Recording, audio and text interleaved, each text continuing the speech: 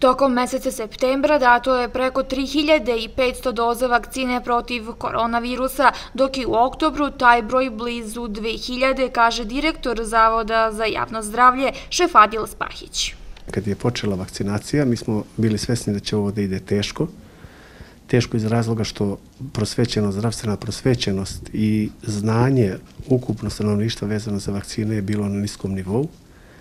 I one vakcine koje su trebali da se prime koje su zakonski regulisane kao obavezne.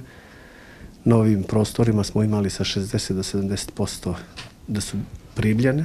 Na današnji dan dali smo prvih doza 27.266, što je negde oko 30 do 32% ukupnog odraslog stanovništva.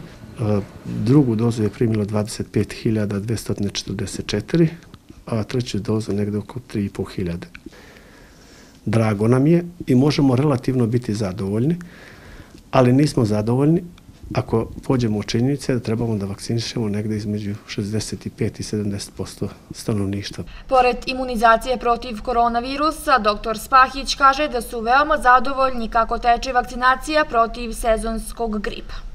U isto vreme mi radimo i e, vakcinaciju protiv sezonskog gripa i drago mi je da je e, u par ovih e, dana vakcinu protiv sezonskog gripa primilo blizu hiljadu naših građana. Podsećamo, od posledica izazvanih koronavirusom u oktobru je u opštoj bolnici u Novom pazaru preminulo ukupno 60 pacijenata, pokazuju zvanični podaci štaba za vanredne situacije.